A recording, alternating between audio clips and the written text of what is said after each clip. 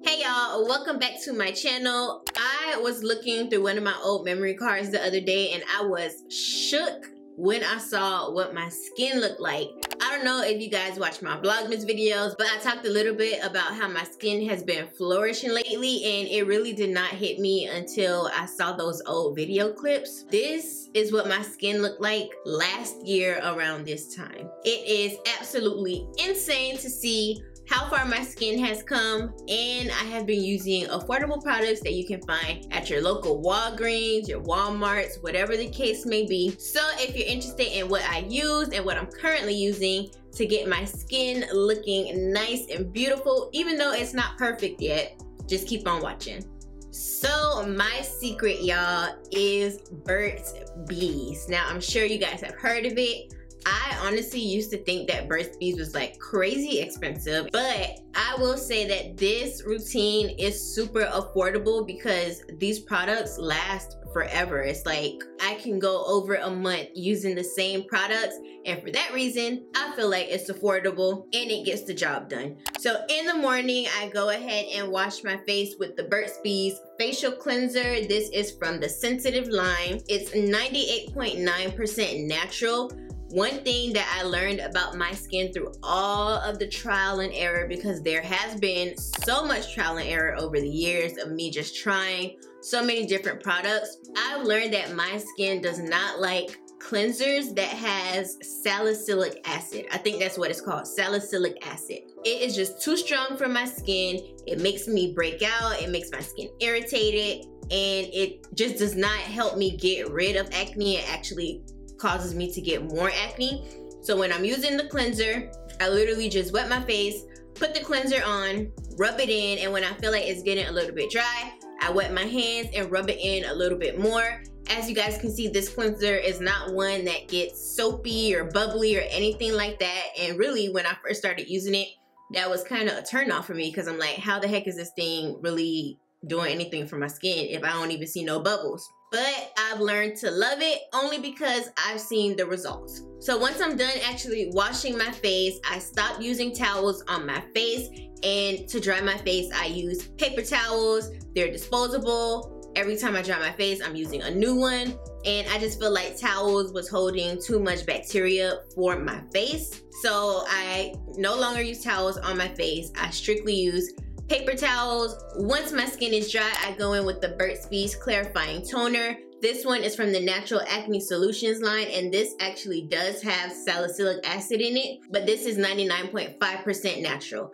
So usually after I'm done washing my face, I feel like there's still a little bit of dirt and just more stuff from the day there that needs to be taken off. So I do go in with a cotton pad and just run the toner over my face. And as you guys can see, it does pick up a little bit more of that extra dirt. And now since this is my morning routine, I need to prep my skin for going outside. So the moisturizer that I have been using and loving is actually not from Burt's Bees. This one is from Aveeno. It's a part of the Positively Radiant line. This is the daily moisturizer and it has sunblock in it. Now, if you're like me, your skin just scars for no freaking reason. Or maybe there is a reason and you know you pick at your acne and that's cool too because I do the same thing. But when I have dark spots, I know going into the sun is just gonna make my dark spots darker, which I don't want. So you definitely wanna make sure that you're using some sort of sunscreen to block your skin from getting more damaged by the sun. This is the only moisturizer that I have used that literally soaks into my skin. I have this thing with moisturizers where I feel like they kind of just sit on my skin and I hate that feeling. It just drives me insane. So this is literally the only moisturizer that I've ever used that soaks into my skin. It doesn't irritate my skin. It doesn't make my skin feel dry. It doesn't leave me oily because that was another issue I was having. This is just like the perfect moisturizer. That's pretty much it for my morning skincare routine. I wash my face, tone my face, put on a moisturizer, bam, I'm out the door. Now, when it comes to my nighttime routine, it's honestly pretty much just that simple as well. But I do do some things a little bit differently depending on how my skin is acting that day. So of course, I still go in and cleanse my skin with the same facial cleanser that I use in the morning. This time I'm usually in the shower, so I put it on my face and just leave it on there as I shower so that the steam is kind of opening up my pores and the cleanser is really getting in there. And then when I'm done with my shower, I go ahead and rinse my face off. Again, I dry my skin with the paper towel. And again, I use my toner. Most of the time, I honestly don't do anything else but lately I have been feeling like my skin needs a little bit more moisture. So I've been using the Palmer's Coconut Oil, Coconut Monoi Luminous Hydration Facial Oil, and putting it on my entire face is a lot for me. So I tend to just put it on the areas where I feel like my skin can use some additional moisture which is usually around my mouth because my chin area gets really dry and I'm noticing that I'm starting to get smile lines and I just feel like the more I keep this part of my face moisturized, the more it'll prevent any wrinkling or anything like that.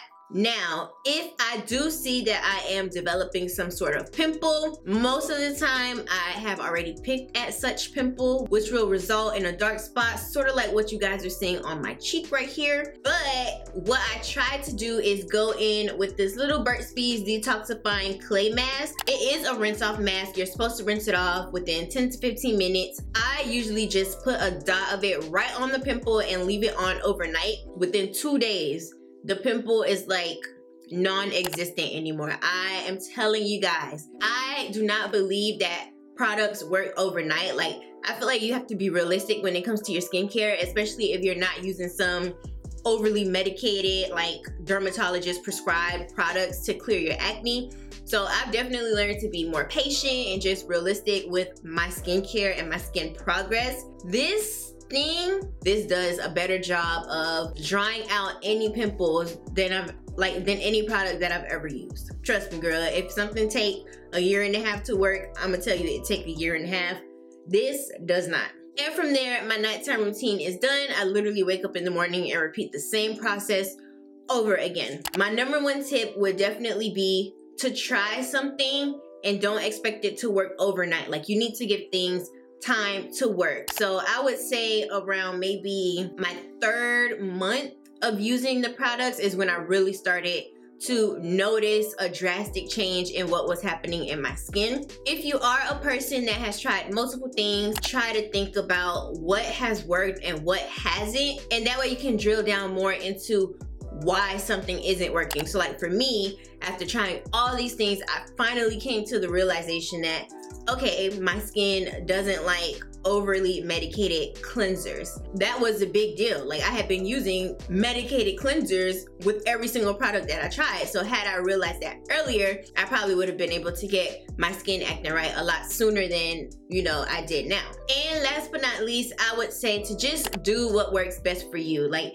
these products work for me. And of course, I wanted to share it just in case it works for anyone else out there. But there's still a chance that it probably won't work for you. And that's okay too. Like all of our skin is not the same. Even for me, sometimes I feel like my skin, you know, is acting right. I'll probably skip washing my face in the morning or I won't apply toner two times a day just because I feel like it's a lot for my skin. So you guys have to like really understand your skin and listen to it. If it's dry, you're gonna feel it. If it's overly moisturized, you're gonna see the excess oil on your face. Like listen to your skin and like do what your skin is telling you to do, which that sounds weird because obviously nobody's skin is like, girl, I'm thirsty, moisturize me. But in the way your skin feels, like obviously you know it better than anyone else, you can kind of get a feel for like what your skin needs and at what time your skin needs it. If you guys are interested in purchasing any of these products, I literally get every single thing from Walgreens except for this Palmer's coconut oil. They actually sent this one to me and I just so happen to love it it. I haven't had to rebuy it again. And like this thing is still super full because like I said, I don't use a lot of it. But I'll try to find it online and I'll put a link for every single thing that I mentioned